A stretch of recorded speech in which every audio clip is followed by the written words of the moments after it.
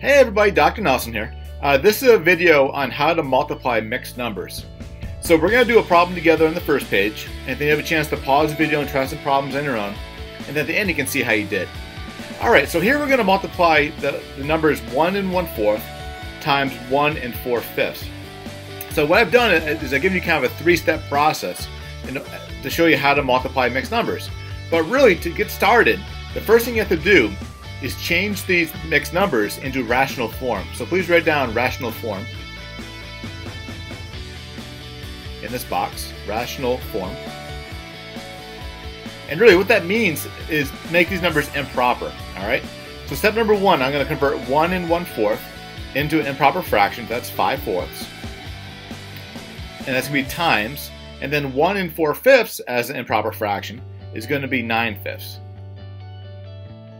All right, step number two, simplify the fraction and cross-reduce if you can. All right, so um, these can't be reduced uh, going up and down, but if you notice, we have a 5 and a 5, and I can reduce these by a common factor of 5, right?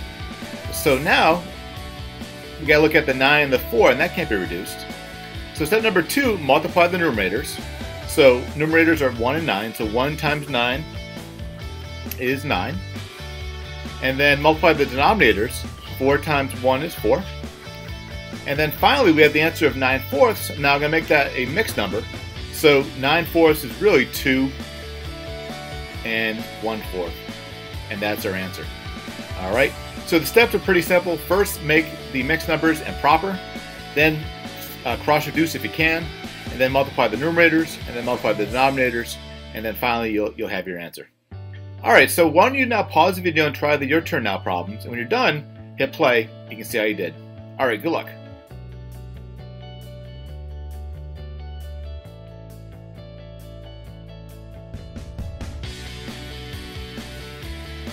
Alright, welcome back. Let's say I do these practice problems. So the first one, you have 5 and a third times 1 and 1 eighth. So uh, step number one is make them rational, right? So 5 and 1 third is going to be 16 thirds. So that's in rational form. And then 1 and 1 eighth, when I make it improper, that's going to be 9 eighths. Step number 2, see if we can cross reduce. And we can actually do it two different ways. Uh, the 9 and the 3, we can reduce down to 3 and 1. And then the 16 and the 8, we can uh, divide both 16 and 8 by a common factor of 8. That's going to be a 1 and a 2. So now we can multiply across. 2 times 3 gives us 6.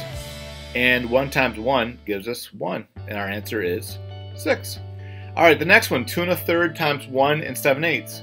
So again, step 1, make it a rational form for both fractions. So, so 2 and a third is going to be 7 thirds.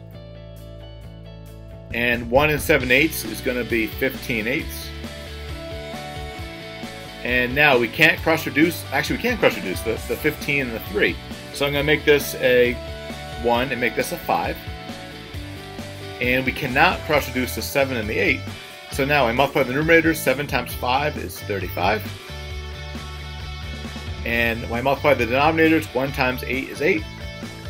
So 35 eighths is our answer, but if I wanted to convert that into a mixed number, well I know 8 can go into 35 four whole times with a remainder of 3. So it's going to be 4 and 3 eighths.